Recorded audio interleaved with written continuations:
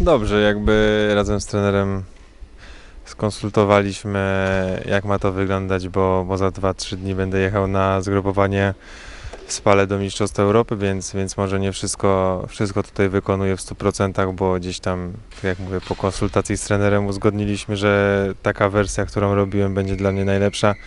Też dał mi, dał mi trener wolną rękę, żebym ja dostosował sobie to, co chcę robić w 100%, żebym czuł się dobrze, więc, więc jest jak najbardziej pozytywnie, jest, jest, jest energia, jest śmiesznie. Widać, że, że chłopaki przyjechali po, po wakacjach naładowani energią, mają dużo siły, ciężko trenują, więc, więc nic, tylko, tylko się cieszyć.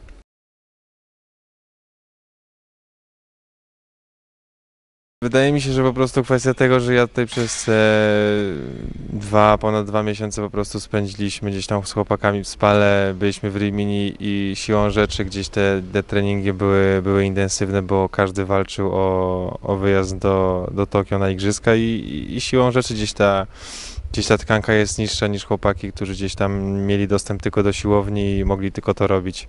Zobaczymy jak to będzie wyglądać, e, wyglądać z z biegiem czasu, z biegiem sezonu, ale, ale postaram się to utrzymać.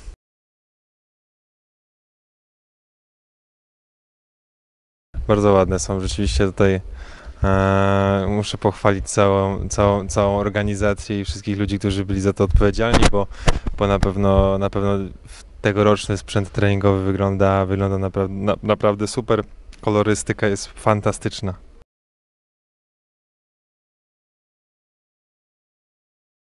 Znaczy ja wiem, jak, jakby bardzo dobrze się czułem, e, bardzo dobrze się czułem fizycznie, bardzo dobrze się czułem jakby psychicznie, czułem się pewny, ale no tak, tak, e, co tutaj można więcej powiedzieć, jakby to, to była decyzja trenera o, o selekcji i o sytuacji jakby z wyborem zawodników i, i tyle, jakby ja postarałem i dałem z siebie wszystko, wydaje mi się, że, że zrobiłem przysłowiowego swojego maks na tym zgrupowaniu e, i, i tyle.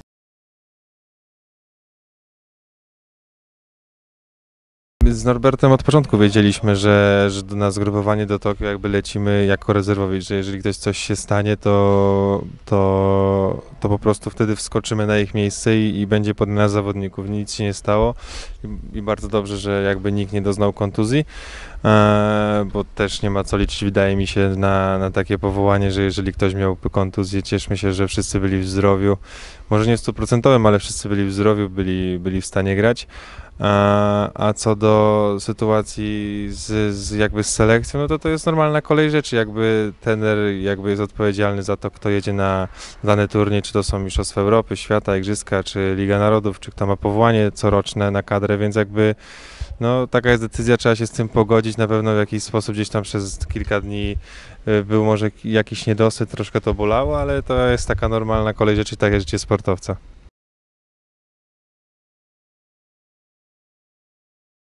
Znaczy ja na pewno na to liczę i chciałem pojechać na Mistrzostwa Europy, ale tutaj kolejny raz jakby się powtórzy, że to nie zależy ode mnie. To jest decyzja trenera i to on będzie decydował, kto pojedzie na Mistrzostwa Europy. Ja znowu pojadę do Spały i zrobię wszystko i, i, i będę chciał udowodnić, że jednak zasługuję na to miejsce na Mistrzostwach Europy.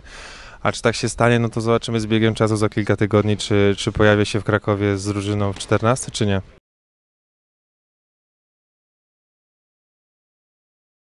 Reprezentowanie kraju wydaje mi się nie tylko w siatkówce, ale w każdym sporcie jest to jakby duma i trzeba, i, i trzeba się tym chwalić, trzeba jakby za każdym razem, kiedy się ma taką okazję z niej korzystać.